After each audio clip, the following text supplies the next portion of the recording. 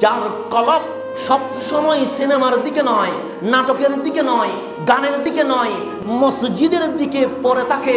ফজরের নামাজ আদায় করল, চলে গেল চাকরিতে, মন বলছে জোহর কখন হবে? জোহরের নামাজ আদায় করল, চলে গেল আপন কাজে, কিন্তু মন বলতে লাগল আসরের নামাজ কখন পড়ব?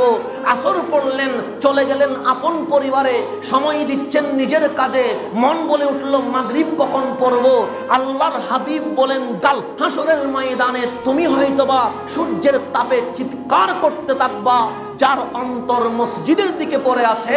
রব্বুল আলামিন তাকে ডাক দিয়ে বলবে, ও আমার বান্দা, তুই দুনিয়াতে ছিলি, পরিবার সংসার করেছিলি, কিন্তু তোর মন সব সময় আমার গড় মসজিদের দিকে দাবিত ছিল।